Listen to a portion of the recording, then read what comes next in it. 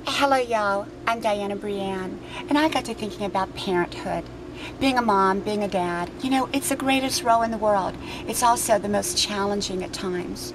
Remember, when they're babies, they're wonderful. As they become teenagers, sometimes they can totally change on us, and yet they're wonderful too. We've got to embrace all the seasons of parenthood, whether they're small babies, um, teenagers, or even when we get old and we have children that are 50 and we're 80, we're still a parent.